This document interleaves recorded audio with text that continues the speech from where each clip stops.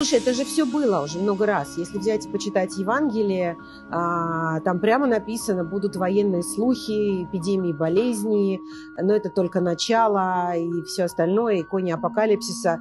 Мы ходим по кругу или по спирали, как некоторые считают, но а, моя религия говорит о том, что мир лежит во зле, во грехе, поэтому, в принципе, ничего другого ждать не стоит, но у каждого есть а, возможность личного спасения.